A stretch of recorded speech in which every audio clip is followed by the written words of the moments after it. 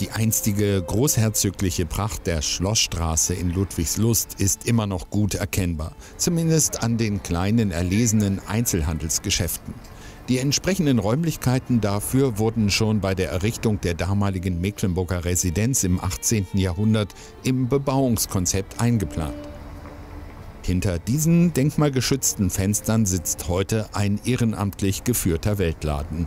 Doch die Geschichte der einst noblen Adresse reicht viel weiter in die Vergangenheit zurück.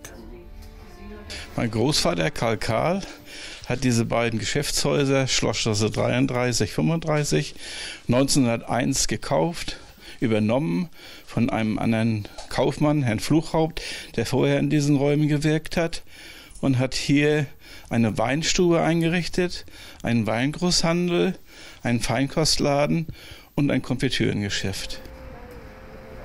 In der Saison wimmelt es in der Ludwigsluster Innenstadt nur so vor kauflustigen Touristen, doch der Schein trügt. 51 Einzelhändler haben vor kurzem einen besorgten Brief an die Stadtverwaltung geschickt.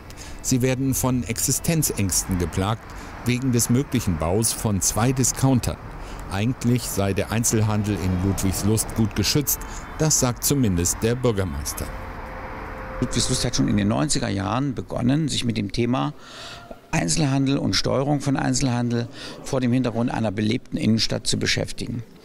Und alle Einzelhandelsgutachten und Fortschreibungen von Einzelhandelsgutachten haben dasselbe Ergebnis erbracht, nämlich dass Ludwigslust stolz darauf sein kann, dass es noch einen inhabergeführten Einzelhandel in der Innenstadt gibt und den es deswegen gibt, weil Ludwigslust sich über die vielen Jahre genau so verhalten hat, wie es die Gutachter, die wissenschaftlich arbeiten, in ihren Einzelhandelsgutachten ähm, als Handlungsmaxime beschrieben haben. Doch dieser Mann sorgt derzeit bei vielen Einzelhändlern für Unmut. René Krüger, der Investor und Projektentwickler, hat vor, demnächst einen Lidl-Discount-Markt auf einem ihm gehörenden Grundstück errichten zu lassen. René Krüger betrachtet sein Vorhaben aber auf keinen Fall als Angriff auf den Einzelhandel. Ich versuche hier einfach die Stadt ein bisschen aufzuwerten. Ich versuche äh, Wettbewerb in die Stadt zu holen.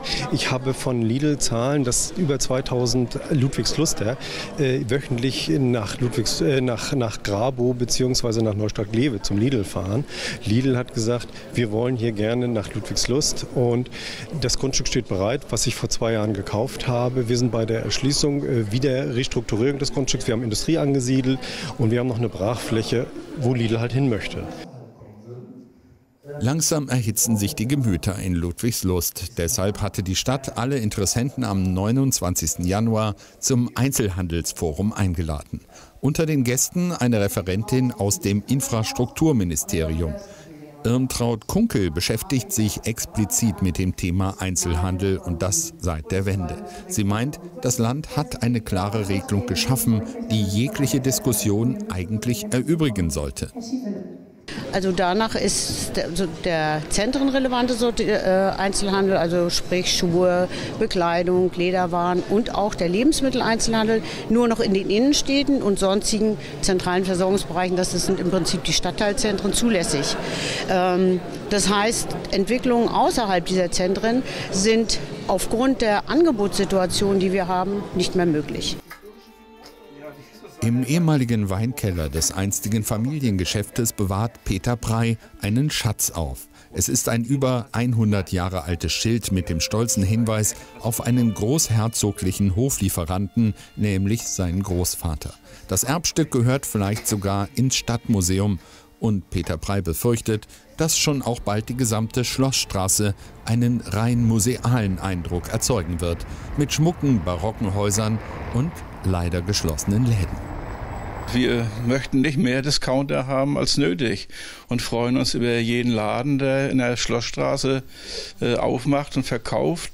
Und also ich finde es gar nicht gut, dass hier jetzt jede Menge Parteibüros und äh, Anwaltsbüros so eingerichtet wurden.